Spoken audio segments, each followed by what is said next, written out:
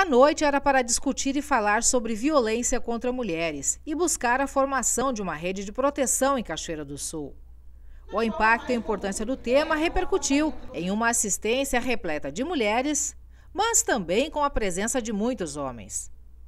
A iniciativa da vereadora Thelda Assis mobilizou segmentos diversos da comunidade e contou também com a presença e apoio da deputada estadual Estela Farias, proponente da Procuradoria Especial da Mulher na Assembleia Legislativa. Ela destacou a importância da Lei Maria da Penha, mas também lamentou a falta de uma rede que dê mais efetividade ao cumprimento da lei. 11 anos de uma lei que está entre as quatro melhores do mundo. A Lei Maria da Penha é uma referência mundial é um marco civilizatório para as mulheres no país, mas, por outro lado, um definhamento das políticas públicas, né? A nível nacional, estadual e mesmo no âmbito dos municípios, não se constituiu ainda a rede de proteção necessária para que se efetive a lei.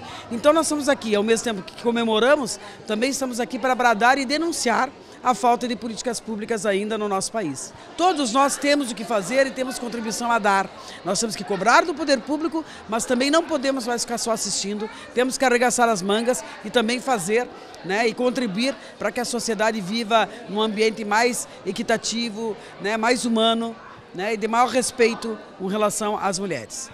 A audiência pública focou no anúncio e surgimento de ações e locais de atendimento e assistência às mulheres. E foi o que aconteceu. Paula Beck, coordenadora da recém-oficializada Coordenadoria Municipal de Políticas Públicas para as Mulheres, anunciou que o projeto de criação de um centro de referência já está na segunda etapa de aprovação junto ao Ministério do Planejamento. Esse centro.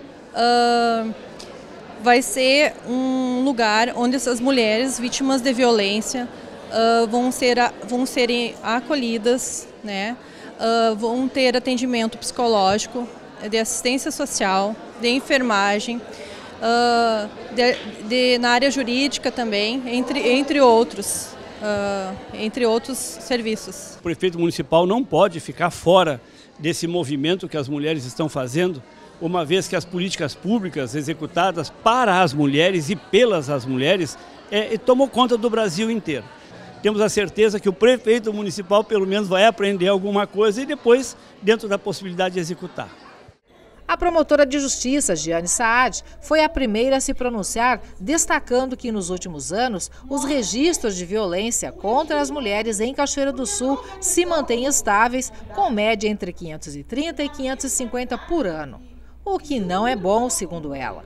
Até porque muitas mulheres estão fora dessas estatísticas, como as do meio rural, por exemplo. Ela veio para o encontro com a proposição de um grupo de trabalho. A boa notícia que eu tenho para dar para vocês é que essa rede já vai começar a se reunir uh, a partir de outubro no Ministério Público todos os meses. Já agora, dia 4 de setembro, nós vamos convidar oficialmente num outro encontro sobre comunicação de, da, dos dados de violência, toda a rede, e nós agora passaremos a mensalmente a rede discutindo casos mais complicados, articulando a melhora dos serviços. No Ministério Público, a rede será toda convidada todos os meses para fortalecer essa rede de proteção à mulher. A vereadora Celita Silvia, de Santa Maria, veio contar a experiência do município na assistência às mulheres. Renata Jardim também. Ela veio de Canoas, onde a rede de atendimento à mulher é referência no estado, e pregou a junção de forças. Canoas a gente conseguiu garantir uma rede completa de atendimento às mulheres. Então hoje a gente tem um centro de referência que acolhe e orienta essas mulheres e acompanha em todos os outros serviços da rede. A gente tem um juizado especializado, onde tem uma juíza preparada e exclusiva para ouvir as mulheres. A gente tem uma promotoria, defensoria, ou seja, a gente tem tudo aquilo que a Lei Maria da Penha prevê de atenção às mulheres. E é a partir dessa integração, desse atendimento em rede, dessa, né, esses nós organizados para que ela não fuja desse, dessa rede, é o que a gente consegue garantir minimamente que essas mulheres possam superar suas situações de violência. Canoas hoje é referência nesse atendimento, né? Exatamente. Por quê? Porque lá nós temos uh, um papel fundamental de um serviço que escuta essas mulheres e ele é um, serviço ele é engajado, né? A gente conta com toda a parceria do Coletivo Feminino Plural, que é uma organização feminista de dois anos, de 20 anos de atuação nesse campo. Então, esse olhar engajado, feminista, ao lado das mulheres, é o que faz toda a diferença. O poder público, que papel tem em tudo isso? O papel, o papel fundamental do governo é garantir as políticas. Então, precisa sim de investimento, precisa sim de que a gente tenha um espaço, uma voz no, no executivo, no legislativo, né, em todos os espaços para que se garantam a criação desses serviços e, mais do que isso, não basta criar serviços, abrir as portinhas. A gente precisa ter equipe especializada, a gente precisa ter número de profissionais, a gente precisa ter equipamentos, precisa isso estar fortalecido, porque não adianta também a gente criar lá com uma pessoa, isso não vai ser um serviço. Yes. A audiência pública contou com pronunciamentos de vários segmentos da comunidade que exaltaram a situação preocupante apontada pelo alto número de ocorrências e também a necessidade de um trabalho efetivo e coletivo para que a rede de proteção a essas mulheres em situação de violência passe a existir e fazer a diferença. O encontro gerou a formação de um grupo de trabalho formado por instituições e pessoas de segmentos diversos, que terá como bandeiras iniciais a criação de uma delegacia para mulheres e uma casa de acolhimento. Esse será apenas o início do trabalho para que uma rede de atendimento e proteção a mulheres em situação de violência seja criada na cidade.